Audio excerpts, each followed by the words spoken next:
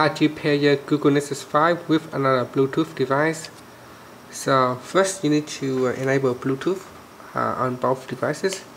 So here we're just going to slide down the notification bar, go to more settings, tap on Bluetooth and enable Bluetooth by uh, sliding the switch to the right. Next we go to your other devices. So here I got another phone. So slide down and I'm just going to enable Bluetooth on this one here.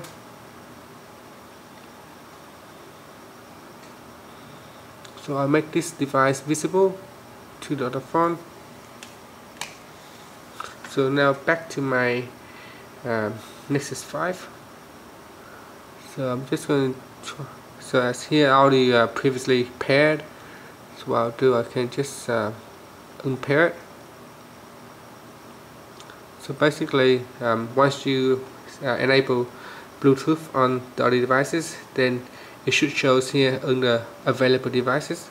So in order to pair simply just connect or simply tap on that device name and ask uh, do we want to pair?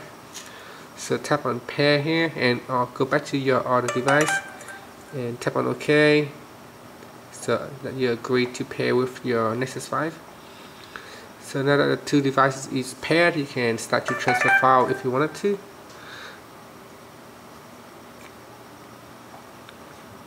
So then just tap on the home key to finish. So that's how you can pair your that's how you can pair your uh, Google Google Nexus 5 with all the Bluetooth devices. Thank you for watching this video.